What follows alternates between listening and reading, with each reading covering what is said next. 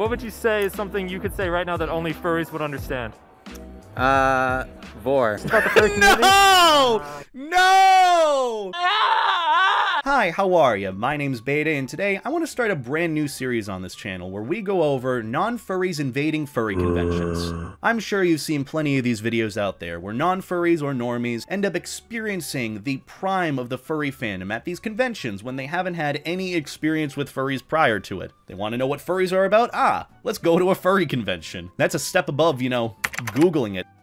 But in these videos, they'll usually just end up going around the convention, talking about their experiences, and sometimes interviewing a few fursuiters or con staffers. But there's a little caveat with this whole thing, because in most of the videos that I've seen online, they just end up harassing furries who, in all honesty, are minding their own business. I hate to use this word, but it's really just cringy to see, because most of this is just the essence of taking the online furry hate anti-furry culture and bringing it in person to furry conventions. Because think about it, furries, as much as they're their own little subculture on the internet, they mind their own business at conventions. They have these events where they're doing their own thing away from people people that might be potentially bothered by it. This one weekend where they just hang out and they want to exist and do their thing. Meanwhile, in comes this one Joe Schmo on YouTube, where these people will walk up to a random fursuiter at these conventions, and the first question they ask is like, oh, I don't know about this furry thing. Is it a sex thing? I think it's safe to assume they're not there to be friendly. And pretty much to the point where they just get kicked out. Like, con staff intervenes, they ask them to turn off the camera, which they'll frame into the video of like, oh, I went to a furry convention and I got kicked out. So whenever I see a video like this pop up on my feed, I usually think, in this timestamp, when do they get kicked out? It's just become second nature that that's the type of content that sometimes happens. But I feel like there's been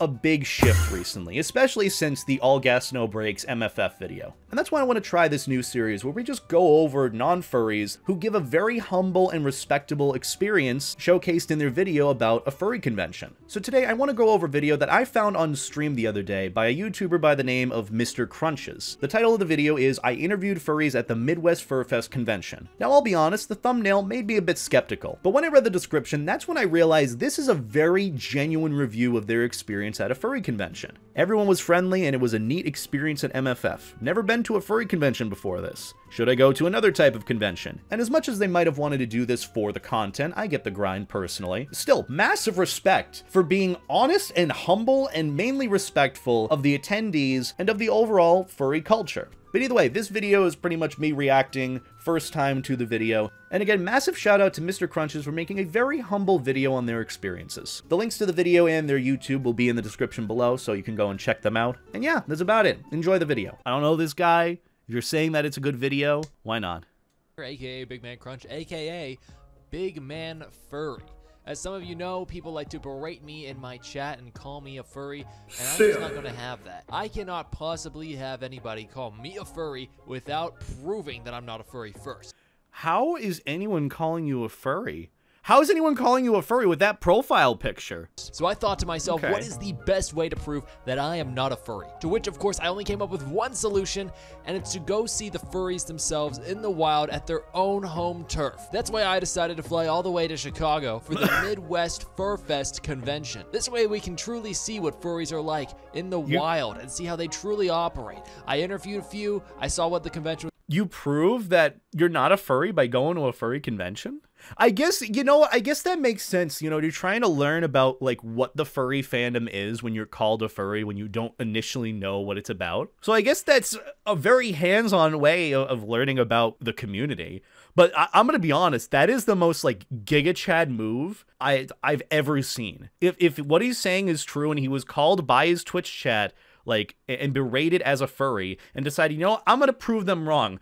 I'm gonna fly out to a furry convention to prove them wrong. That is the most Giga Chad like thing I've ever heard. Dude's a legend and it's only 30 seconds in. was all about, and that's what this entire video is. I hope you enjoy. If you do enjoy, make sure you comment that I'm not a furry. I just Low-key went to the really convention like the vibe and people. I'm not a ambiance of his room I didn't go because I'm a furry. I'm not a furry. Oh. So on my way to the convention, I saw a few interesting things. Of course, I went and stopped by Cellbot HQ. I took a quick pic with the Coca-Cola bear. On my way there, I touched and saw the big Chicago metal bean. That was The pretty cool. bean. Uh, It was a life-changing experience for me. I got to see a big metal bean. And then lo and behold, furries everywhere. Among the streets of Chicago, they were roaming all Yeah. over. People in maid outfits and fursuits and animating all sorts of superhero cosplays. It was a sight to Yeah. behold, and I'm sure the Chicago residents were terrified. Obviously, to navigate around the convention, one of the first things I saw was the map, and we had to look at it, in which case I then saw the HIV testing room, which was a perfect sign. But at least they're being safe with it, hey. At least they're being safe. When I sign up, there's an older man who IDs me and makes sure that I'm okay. like, okay, We were st- we're still going with this that HIV testing is a bad thing. I mean, he said it was a good thing. I, I guess you know. Also, little correction: MFF, or at least the area that the furry convention is at, as much as it's big, and you'll probably see like furries roaming around like the downtown area or different areas of like Chicago. It's really kind of like clustered around one area, which is the convention space. You know, like it's one specific like space. So if you go to that area, like there's going to be a huge cluster of furries. It's not like dispersed or spread out like other very very big conventions are. Like non-furry conventions, like usually if it's like in a downtown area, like it's spread out. People are like all over. You'll see like people in cosplays all over. Like PAX, for example. okay to go in and have the thing around my neck. And then what he tells me, first he asks me, he says, "Are you feeling sick?" Obviously for COVID policy, but my my dumb little brain didn't comprehend that, and I said, "Yeah." And he looks at me and he goes, "What?" And I go, "Oh, I thought you meant sick in the cool way." He meant Fair sick enough. in the COVID way. And then I had to clarify, no, no, no, I'm not sick in the COVID way. I'm sick in the cool, radical way. And then he was eh? like, How young are you? And I was like, I'm 18. And then he was like, Don't get roofied, which is a great sign and a great thing to hear right before you enter a convention. Where? Upon Who was he entering the furry talking to? Were you going to register? There's if you were at registration, there's no way, no way that a con staffer would say that. Were you talking? Was he talking to a random Joe Schmo? There's no way. I think this is funny. convention, I was greeted with a load of fursuits and somewhat normal looking people. I mean, it was a lot of normal looking people and people in strange outfits, and it was pretty cool. It was a sight to behold. Before I got into interviewing, I thought I would just enjoy Okay. the culture, the air, and see what it's all about. Believe it or not, these furries who have these extremely expensive, and I mean expensive suits, spend all their time Yes. here really just buying stuff. Can you believe it? Basically, the entire convention, the only thing to really do was buy stuff, but somehow it was actually really cool. It was just a bunch of small businesses selling not just like furry related items, but there were a lot of furry related items, but also just cool handcrafted stuff. There was a lot of small businesses, and I, I really liked it. It was just a big market to buy a lot of cool stuff. I got this cool wooden kunai. Wait, were you allowed to take that back with you on the plane? Don't they usually? Uh, what?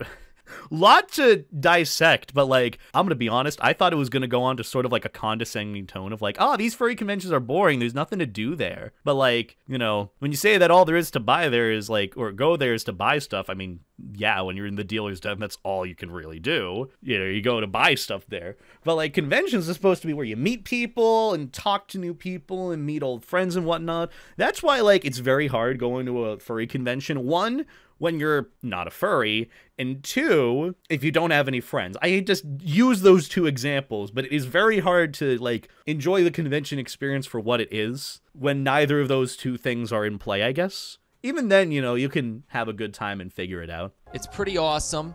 Uh, it's handcrafted. I don't know who made it really. Uh, thank you, shout That's out. It was only 10 bucks. Can you believe that? Anyway, they had a lot of products there that uh, were that's very adorable. furry related, obviously. And I was very surprised at the prices of uh, fursuits. They're very, very expensive. After looking around the Yeah, convention a little bit, surveying the area, scoping out their home turf, I decided to ask them the real scoop, the real questions that the furries wanted to hear and you guys want answers to. So I interviewed a bunch of furries.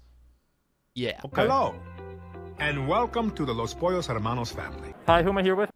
Usually, I'm very partial about interviews from non furries with furries at conventions, but I'll reserve my judgment till after. Because so far, for someone going to a furry convention who isn't a furry, this is already a much better video than, than most others that I've seen. So, you know what? I'll give this dude the benefit of the doubt.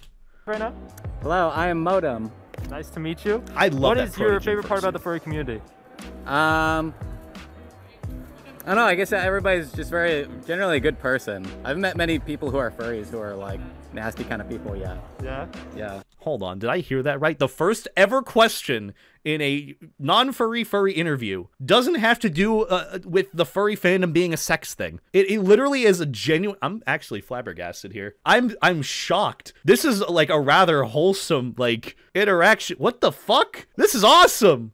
I lo- I'd love to see more of these genuine like not I- intending uh, to like d- try to like belittle or berate furries at conventions interviews i like this this is nice what is your favorite thing about the furry community what a starter what a nice video also love the fursuit holy shit And I like the costuming aspect. That's Yeah. fun. What would you say is something you could say right now that only furries would understand?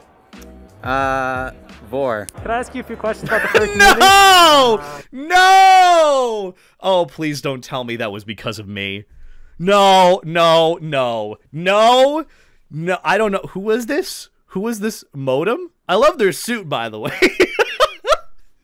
But it's just kind of funny. The first thing that comes to mind isn't like ooh woo, oh whoa, or like a copy pasta or anything. It's just Vor. I don't know who Modem is, but that that was a 10 out of 10 response. I don't really what I don't really know what a furry only thing to say would be. So, you know what? Guilty's charged. I'd say I'd say ooh woo or oh whoa. I just I appreciate the honesty though. Can I ask you a few questions about the furry community? Uh, I can try. That's Uh, Fleur. Oh my much does your god. wow. What what what what a transition. You go from like you go from protogen fursuiter to like just Fleur. Is that Fleur? I don't know if that's Fleur or not. It looks like Fleur. I don't want to assume that it is or isn't. Uh, probably about 8,000. That's a lot. What's the hardest part of owning a fursuit? Uh, the keep up and the care, you have to wash it all the time. Every time you go to a con, you got to keep it clean and maintain. These are maintain and really good it, questions. Or else it'll just get Holy frizzed shit. and, you know, damaged. If there's one thing you could change about the furry community, what would it be? Uh, the, the stigma around it, for sure, definitely. I think that people What the see it in like a really bad Fleur's light. on a It's really not the roll. most accepting and warm community ever. Okay, my last question is, uh, what's one thing you could say only a furry would understand? Oh my god. I don't know. Don't say Vor. Thank you. How much does your suit cost? Oh, this this is a lacy suit. It costs you about like 75, um, or what, 7k? Yeah. Wow. Uh, what I got you into love fursuiting? Ube. I knew this was Ube. I just had to check the badge. I'm like, wait a minute. I see the. Usually, I see Ube. This fursuiter. That's the fursuiter. The the purple and white fursuiter, pink nose. Usually, I see them with glasses. But like, it threw me off. I'm like, wait a minute. Is that Ube? But it is Ube. I love them. Love them. Oh man, I've been I guess Zuzo Wolf on YouTube. I think he's like a dev suitor. He's he's a more for less suitor. But well, I saw his suit, and I was like, man, I gotta get me one of those one day. Yeah. And the suitor that um, really got me into buying this suit was uh, Fluke Husky. I saw Oh, his videos. go. I was like, okay, that's the suit I want. Uh, one last question. What's one thing you could say right now that only furries would understand? Uh, bark, bark, wolf, wolf. How do you feel about Nicolas Cage, Willy's Wonderland? Oh my. I saw this fursuiter at MFF. How do you feel about that? Oh. It's Moon Knight to uh, MFF. Oh, Oh, I was, yo. well, you know, I went here a couple days, not as Mr. Knight, and you know, I realized there's so much crime here. So much- it's like it's like there's furries Crime? rampaging around. Like someone needs to be here to protect. Be gay, do crimes? And as what the you mean? Protector Nightly Travelers, you know, it was my duty. What's one thing you would change about the furry community? I'd. Oh god, that's less drama. Less drama. There's always two. There's always something people are complaining about, and I'm sick of it. Let's Yeah. just chill out. Let's just be fun little dogs and have a good time. You know. What would you say Fair is one thing you could say right now that only furries would understand? Hmm. Some only furries don't understand, huh? Oh, woo! Fuck it now. Who am I here with right now? Uh, my name is Senpai Darkwolf. Oh. Um, why are you a furry? Uh, my greatest uh, input. Oh.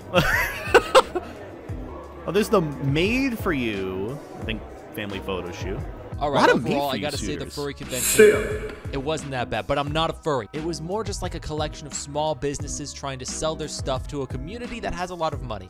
And I kind of, I kind of, kind of appreciate that. I'm like, maybe I'll go next time as a vendor. You know what I mean? I mean, I thought it was pretty cool. There definitely But also no. weird stuff. I mean, But also yes. expected. It is a furry convention at the end of the day. I did get to meet some public furry figures such as Duke the Dragon, whoever this cardboard cutout is, and of course my favorite furry celebrity, Swagger Soul. Overall, it was, it was a pretty fun trip. Okay, and on my way back, you know, I saw some guy's butt. Uh, it was my first butt ever. It was pretty cool. I hope this lets you know you can't do that. Can you do that? Uh, it educated me a lot more about them. I hope this also proves once and for all I'm not a furry. Okay, I'm not a fur. I was just interviewing them. I'm not a furry. You want the you want the real answer here? I don't think he's a furry. I think he just went there for the memes and like he, he's kind of doing like what Quite is if you think about it, like investing in like the the furry culture, but they're not a furry, and, and it keeps you wondering and questioning. So you're curious about it and you're thinking about that. Good good play on their end from like a business YouTuber standpoint. but uh, you know what? I'm glad he had a good time. Um, he was right, but also sort of, but also was with regards to like what furry conventions are about. He got like half of it. You know, the dealer's den, you got you got half of like what the furry convention was about. And like I said before, like the other part of it is about like attending the events and going around and meeting people, like panels, dance competitions, you know, the raves in the evening. Like those are pretty cool. So it's not just about, you know, going and buying stuff. You can make it that. And, and realistically, he's not wrong about the experience of, of the furry fandom or furry convention because it really is whatever you make of it. So, you know, I'm just glad he had a good time. This is the first time that I have seen like a, a, a very genuine interview with furries that didn't end in like a dumpster fire or didn't end as like very degrading towards the community. It was it was rather like wholesome and very I'd say humble. It was very humble with like a little mix of like uh, memes and, funny moments in it. It was neat. I liked it. Like the fact that the first question wasn't like, "Oh, what what is the furry fandom a sex thing? Is this a sex thing?" Like that's genuinely massive respect to him for like making the questions and making this interview a bit more genuine.